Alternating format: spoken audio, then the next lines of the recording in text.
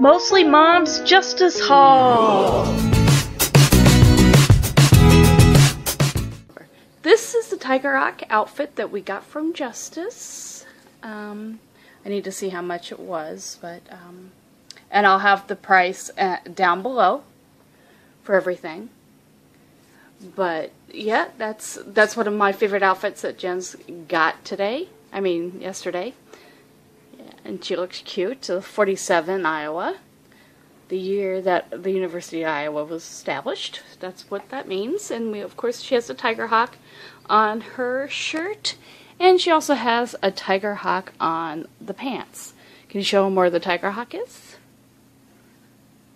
Yeah, there it is. Alright, next outfit. And the next outfit we have is a um, sweatshirt pullover, um, and it zips up, and it's neon pink and gray. And it says um, "Oh for Justice" on it. Do you want to zip it up? Oh yeah, cute. Go ahead and zip it up, and we'll see the front of it.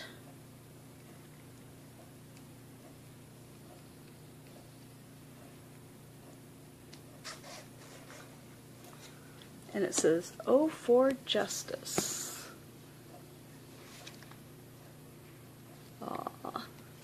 Okay, the next outfit we have is the Love You sweater.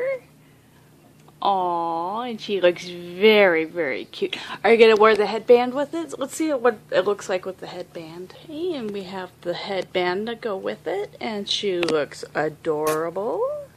And it says love you on it. Aww. You look very pretty. Aww. Bye, sweetie. Last outfit we have is is the tank top, the blue tank top Jen's wanted to get for dance. So, and they were really not all that expensive. I think they were just a few bucks.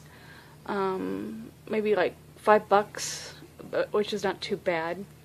And um, we're going to get more dance clothes because she you need more dance outfits for this coming season, so yeah, we'll, we'll go shopping. Oh, Jen's looks so cute. Woo! Oh, Daddy's home. Bye-bye, everybody.